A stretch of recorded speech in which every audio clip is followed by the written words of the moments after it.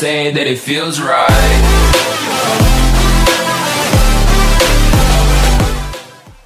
Hi guys, welcome back to my channel.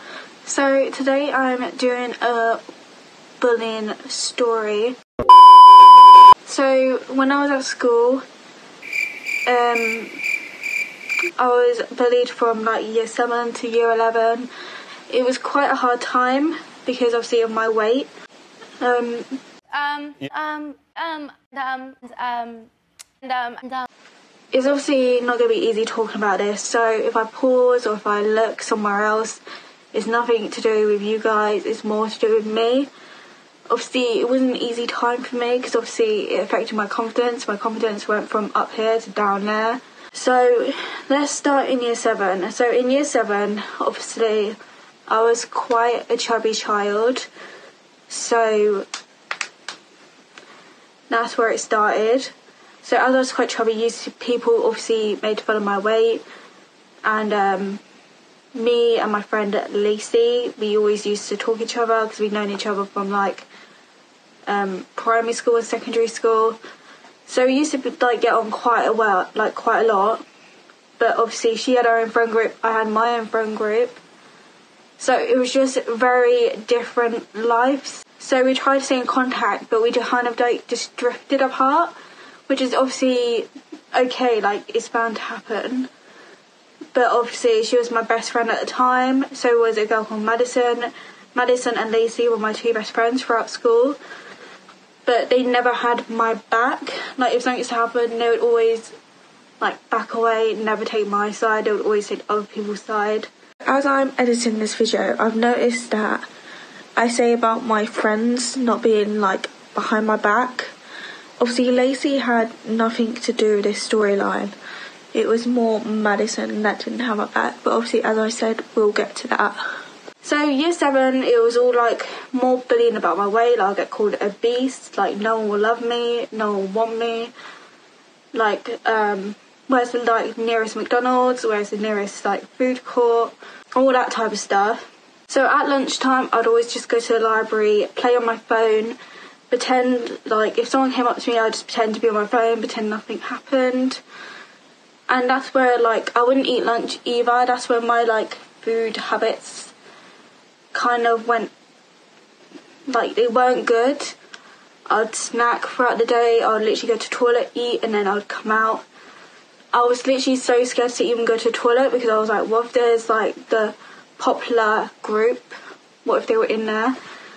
And obviously, through school, it affected me quite a lot.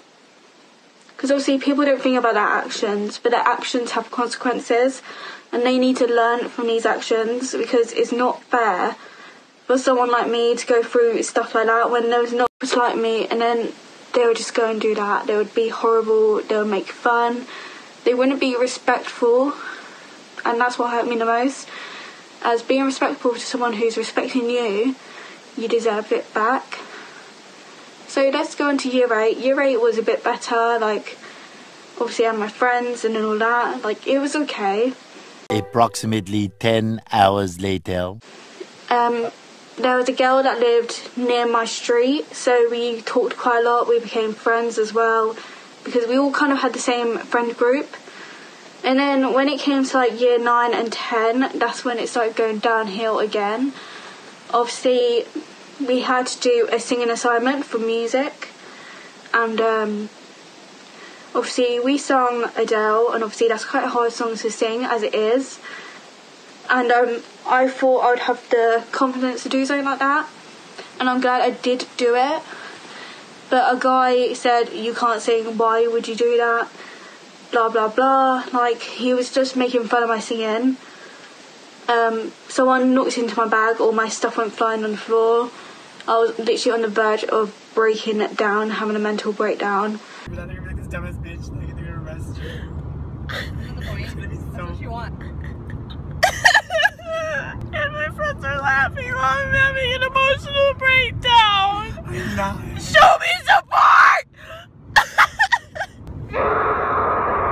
My mum at the time didn't know any of this was happening. I mean, my school could have phoned them, but I don't think they would have known. So year 11 was probably the worst year. So me, Madison, and a few other people in our friend group, um, we decided to obviously sit in the library, have lunch together, and then obviously I was- I was still quite chubby in year 10, 11 because obviously I weren't eating properly. It all went downhill, as I said. So obviously we all went to the canteen to eat lunch together. We all like sat together, acted like friends. I thought we were all fine. But outside of school, they would obviously see each other, and then they wouldn't involve me. They would always just go off by themselves.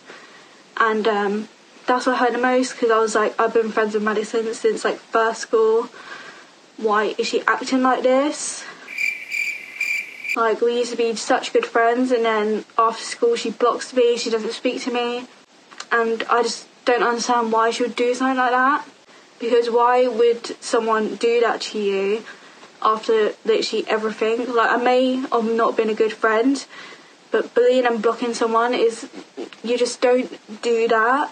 You just don't. So year eleven came, and then there was a new girl.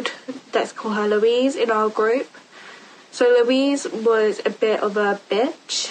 I'm not gonna lie, she was a bit of a female dog because ever since she came in our group, everyone acted differently. She was like the queen bee. She made the group possible, and like it just wasn't good. It wasn't a good atmosphere. There was so much tension. They wouldn't hang around me as much.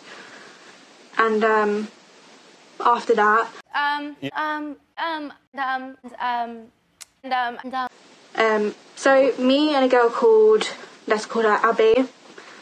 We went to um, the library together. We were joking around because we saw her face, and obviously this is quite immature. Like we were 16, 15 at the time.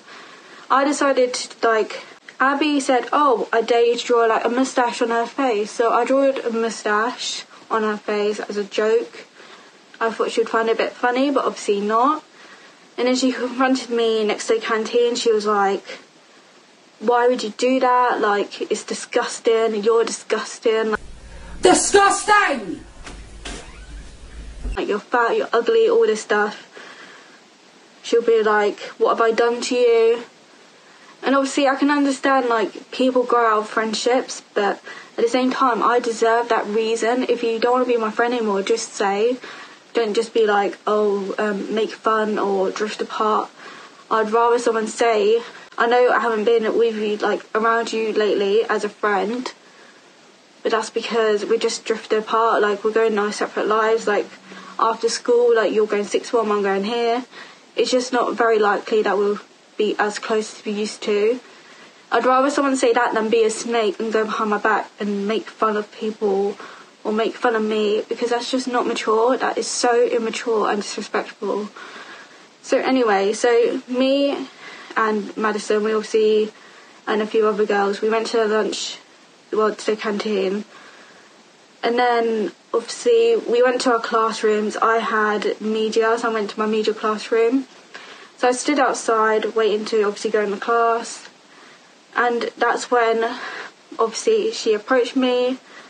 When Abby approached me and said, "Why did you draw a moustache on my face in the library?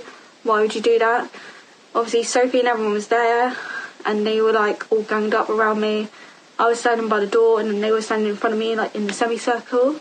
And um, she started saying like loads of rubbish and loads of like stories, saying like, "Why would you do this?" Obviously, this was a while ago, so I can't remember exactly what went down that day. I just know I remember I picked up my hand to obviously because she was aggravating me. Violence is never the answer, so don't do it. I should have just went straight to a teacher. I should have just done that. So I slapped her because she was like, "Oh, hit me then, hit me," because I raised my fist. She was like, "Hit me then, hit me." Oh, no, no, no, no.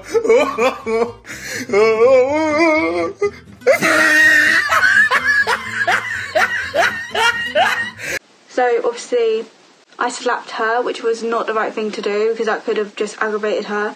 But at the same time, she pushed me to do that because it was just horrible. And then obviously, a teacher, she walked closer, and I can't remember exactly if she slapped me or she hurt me in any way. I can't remember the details.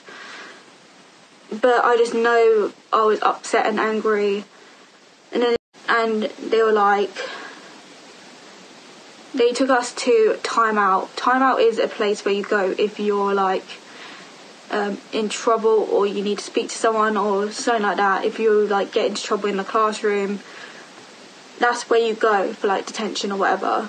So we went to this room. Like we told everyone else, like you need to go. Like like space out is between me and this girl, and that's when obviously it all kicked off again because all the teach the teacher was like, it did look like they were intimidating me from the way they were standing in that semicircle. And then obviously we've had after that, like we all went to our normal classrooms, we all went back to class, and um, Um, um, um, um, um, and, um, and, um, lucky enough, obviously Madison was in that class. She didn't say one word to me. She didn't say anything. So I was like, fine, you do what you have to do.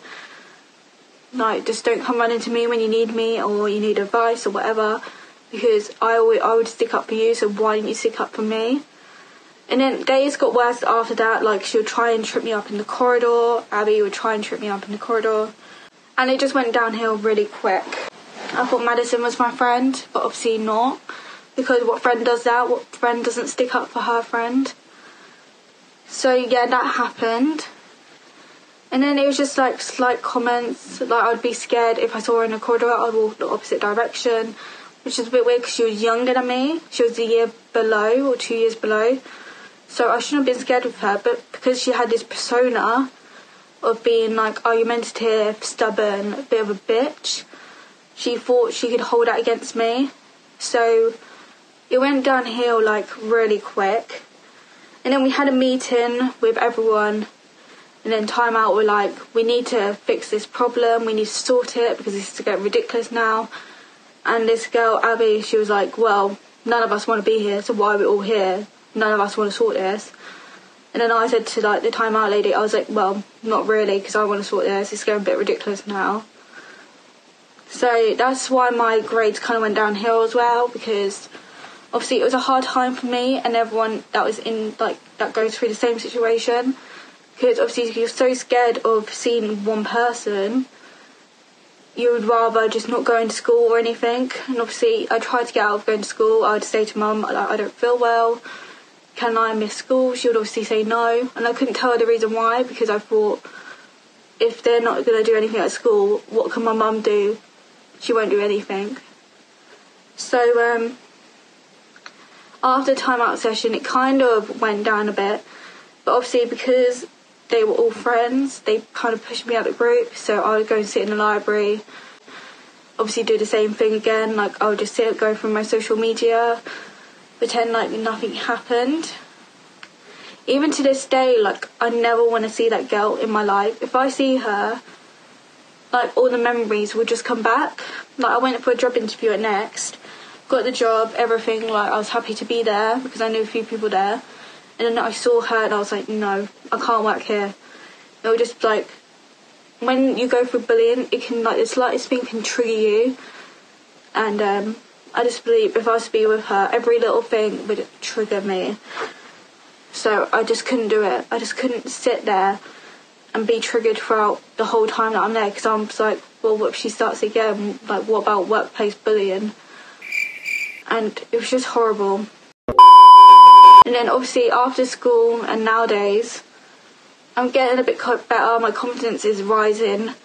My advice to someone that's being bullied is, it does get better obviously after school you won't speak to them ever again, you won't see them ever again. So the thing is, you just got to act strong, speak to someone. I didn't speak to anyone, which I should have done. And you just got to be there for each other. Like, if you're being bullied, like, you just need to think there's obviously something going on in their life that's making them do that. So you just got to be strong and be the bigger person, stick up for yourself, go and speak to someone. Obviously violence isn't an answer so don't do violence. But always be there for each other if you have a friend or whatever. And if she doesn't stick up for you then she's not your friend. She is a snake. So just make sure that your friends are really your friends. And if you have any troubles or queries speak to someone and I'm always here if you need to like answer if you need me to answer any questions or if you need advice. 'Cause obviously I've been there, I've done that.